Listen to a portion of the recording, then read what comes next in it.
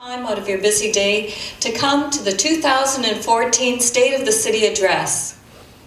Although the economists are predicting growth somewhere in the 3 to 4% range this year, we anticipate we will not only achieve this prediction, we are going to clearly exceed it. With this type of growth, we know that our municipality is now competing on a global stage for investment and talent, and it is our job as leaders to ensure that our community is at the forefront.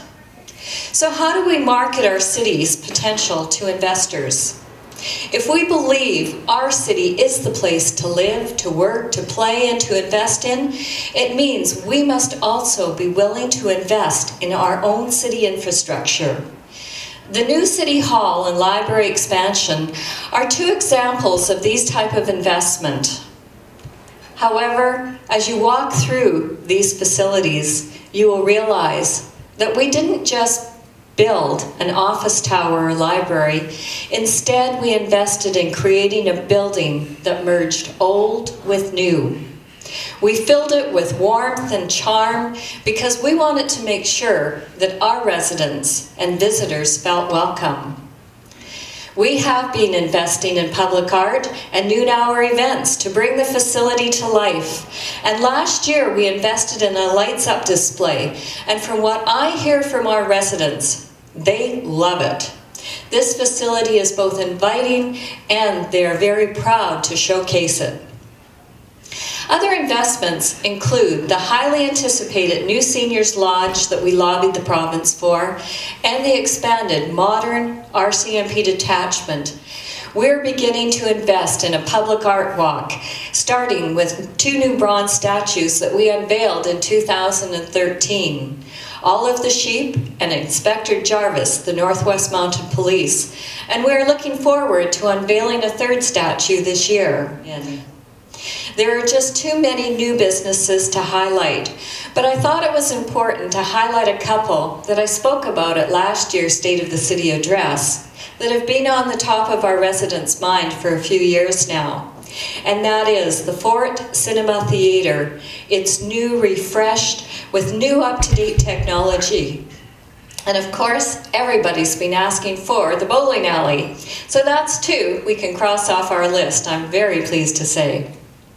If you take a tour through our Fort Industrial Estates, you will notice that it has taken off, and we expect to hear more announcements coming from them soon. In 2013, we did see some significant changes with the addition of Access Pipelines Control Center opening and the saw turning for Yanta Canada's new 18-acre module and fabrication facility. We understand how powerful planning and multi-year budgeting is to provide the foundation for responsible spending, for keeping taxes affordable, and for being able to position ourselves economically competitive with our neighbors, the region, and in some cases, the world. We included a transit pilot project that should offer better transportation services a park and ride at the Dow Centennial Center, so we no longer have to have a park and hide. New waste reduction options, wayfinding signage improvements which will reduce clutter of signage within our city and improve wayfinding.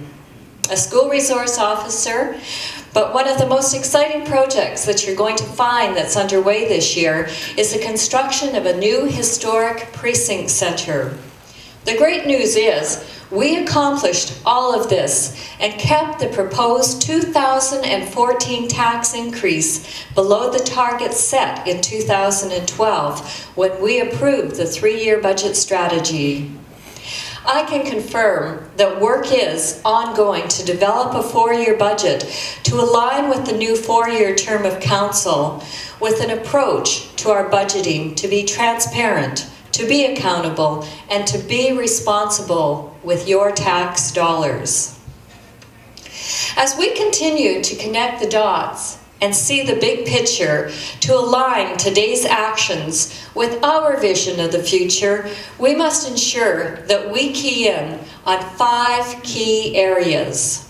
Number one, having a plan to sustain our community into a future. Our community sustainability plan says the infrastructure of a city is the backbone of daily living. We are currently at 52% of our allowable debt limit. That includes borrowing for the RCMP building, the new City Hall Library expansion, and sewer line projects. Investing in these projects does not mean we're deferring these costs to our future generations. Simply put, these services and facilities are needed now, and they will be utilized by many future generations.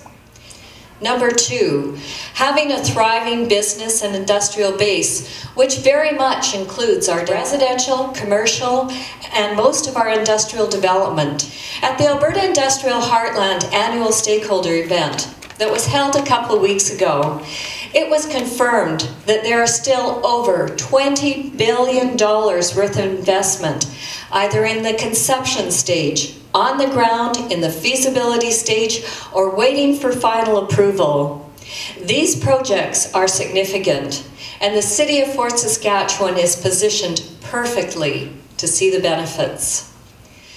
Number three, having a strong, diverse, and competitive economy. We can't talk about a sustainable economy for Fort Saskatchewan and ignore the fact that we are quickly absorbing all our serviceable land in our municipality. We need more land to grow.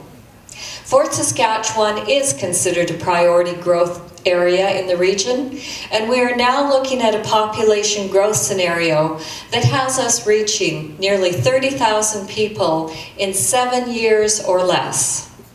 I can confirm that we are in discussions with Strathcona County and the Capital Region Board about growth and our needs for the future. This has been a priority for me, and it is a priority for your newly elected council. Having a strong, vibrant, engaged, and compassionate community. This is a good time to talk about vibrant communities.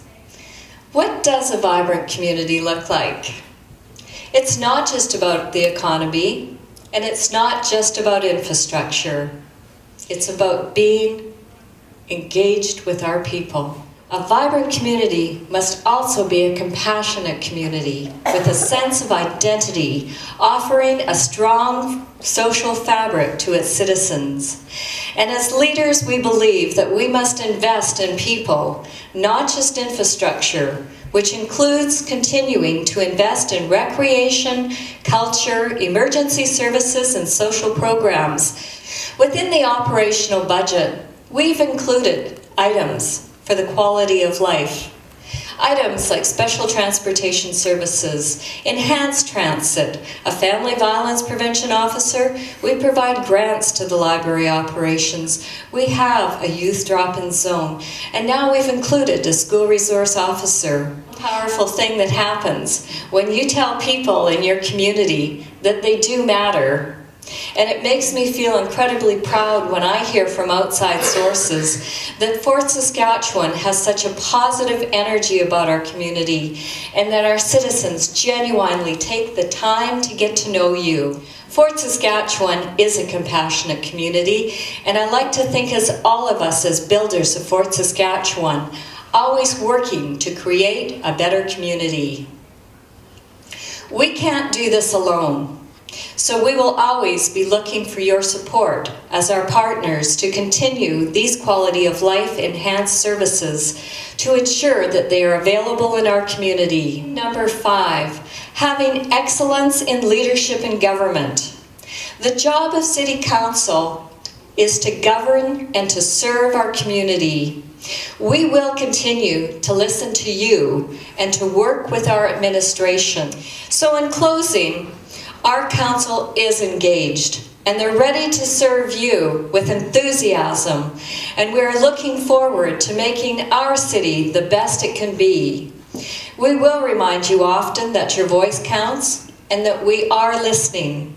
We will encourage all of you to participate in our open houses and online surveys. And as we go out to the community and seek your input to connect the dots, to see the big picture, and to make sure that you feel you have made a difference in how our community develops. I know I'm very excited about our future and the opportunities that lie ahead. We can't just be looking one year at a time. We have to see the future and choose the right path forward. Our task as a community, mayor, council, residents, business, industry, developers is clear. We can all inspire each other to make our city the best it can be. Make our Fort Saskatchewan a place that we'll be proud to call home for many years to come. I look far forward to doing my part along our City Council and alongside you. Thank you very much and have a great day.